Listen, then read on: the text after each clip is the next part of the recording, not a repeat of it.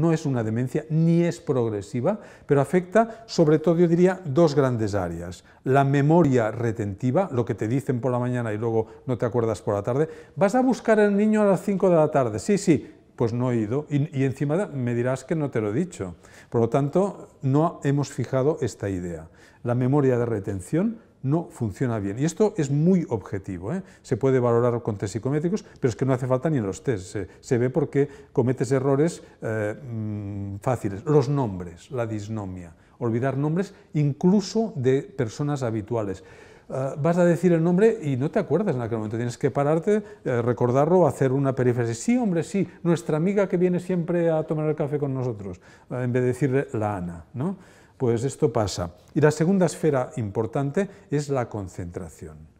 Las pacientes con fatiga crónica les cuesta concentrarse para hacer actividades complejas. Eh, pierden habilidad mental, pierden, pierden eh, procesamiento rápido del pensamiento. Era una persona brillante, ágil, que aprendía fácilmente y le cuesta aprender nuevas ideas, le cuesta elaborar ideas complejas y pierden la facilidad para hacer tres cosas a la vez.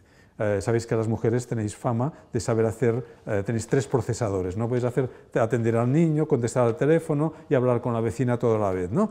Pues eh, esto se pierde y tienes que concentrarte en una actividad. O sea, las actividades complejas que tienen varias interrelaciones se pierden esta enfermedad. Sí que hay que decir que no es un deterioro cognitivo que evolucione ni Alzheimer ni a demencia vascular y que no progresa con nada, sino que persiste y oscila de acuerdo con la intensidad de la enfermedad.